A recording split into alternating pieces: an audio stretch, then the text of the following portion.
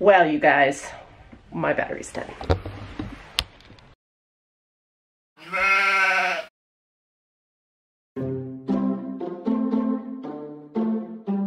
Hey guys, so the month of February, what I'm to do is you guys have been really, really good at asking lots of questions. Some of the questions I have answered in previous videos, but they were so long ago, and honestly, some of the things have changed. Some of the answers are just garbage of mine. So for the whole month of February, every week, I'm going to take my most frequently asked questions and do a video answering them. Today will be a video all about one of my most frequently asked questions, which is what breed of sheep do we have? I have answered this before, but I thought I'd go into a little more detail and actually show you the animal as to which animal is what.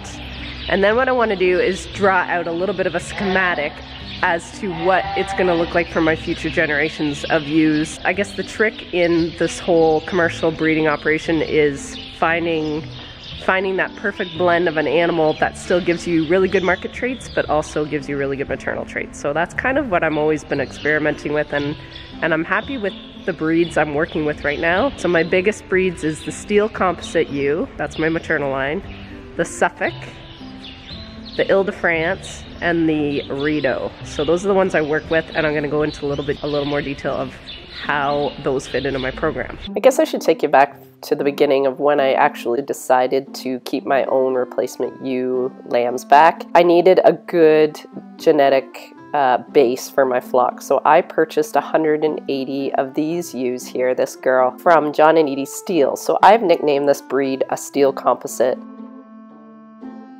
Okay, I texted Eadie just to get this right. This is what she wrote me. The foundation ewes were Rideau Arcot crossed with Polled Dorsets, F1s to be precise, in the late 1990s. We originally kept records on 14 ram families. Then in 2002, we added some British milk sheep semen to a few family lines. In the past few years, we added New Zealand Coopworth and Tefrom genetics. Tefrom is a New Zealand composite of Texel East Frisian, and Romney. So, in her words, it's just easier to say maternal composites, and I agree. It is quite literally a blend of a lot of breeds that they've worked with. So, that first year that I bred those Steele composite ewes, the original ewes, I just bred them to the rams I had. It was a mass breeding group, so I didn't know who was breeding who. I had a whole bunch of different ram breeds. So quite honestly, I have no idea who the original F1 Cross ewe lambs, I don't know who they are sired by.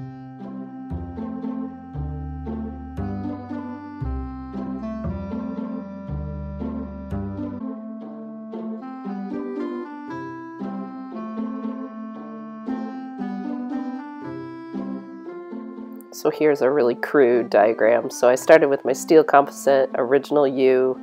I bred them to God knows what, whatever I had in the barn at the time. And then I came out with these 2016 ewe lambs, which is just a Steele cross. 50% Steele, 50% I have no idea. That's my 2016 ewe lamb population.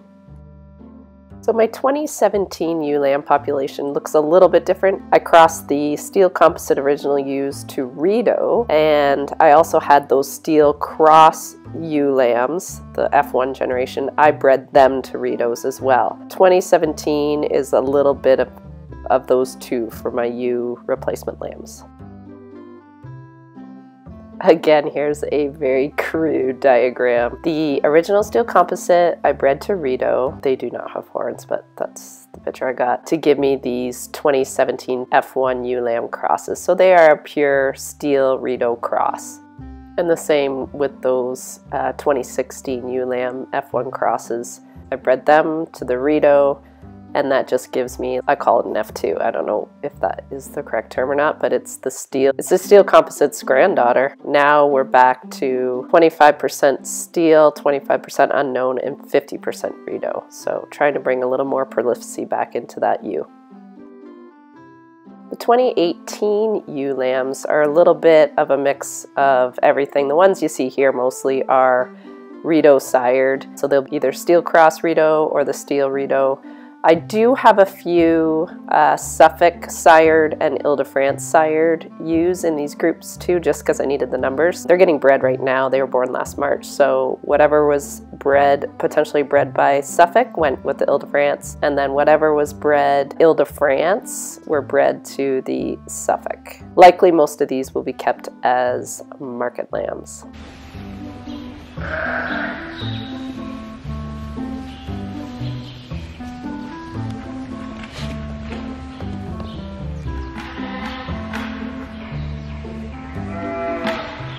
So my maternal line from 2016 to current looks kind of like this. I have the old girl at the top, Steele composite. She's a purebred, as pure as she can be, a Steele composite ewe. Her first set of daughters is just a cross to an unknown ram. Her granddaughter is the, I guess the F2, so it's that Steele cross that I bred back to Rideau. So that's my second group of ewe lambs. My third group of ewe lambs, back to the original old girl, Steele composite.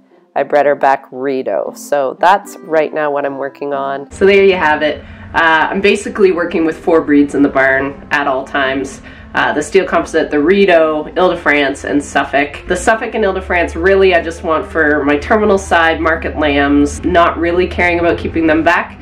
But I have I have kept a few of their offspring back if I just didn't have enough Rideau sired. What I do want to do in the future is, uh, because my, my original Steele composite ewes are getting quite a bit older right now, I think I'm going to talk to John and Eadie in this next coming year and buy a few Steele composite rams and actually have a purebred, they're not purebred, but anyway, a purebred Steele composite ewe lambs back on the farm and then I can basically start all over with that with those genetics. So that's kind of the only thing I'm thinking about changing in the near future. The Suffolk and the Ile-de-France are those rams are about two years old now two maybe working on their third year so I will have to get on an order list quite likely uh, just to make sure I have some when these boys get too old. I hope that answers your question. Breed again is, I hate telling people what to buy and what to get. You have to do what works for you.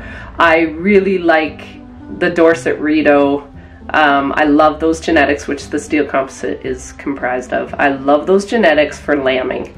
So they will still always be my favorite right now on a maternal side. I like to have Rideau Dorset in them somewhere. So that's kind of the only thing I really kind of want. Ram side, uh, so far I'm just really happy with the way they're lambing out and the way they're growing.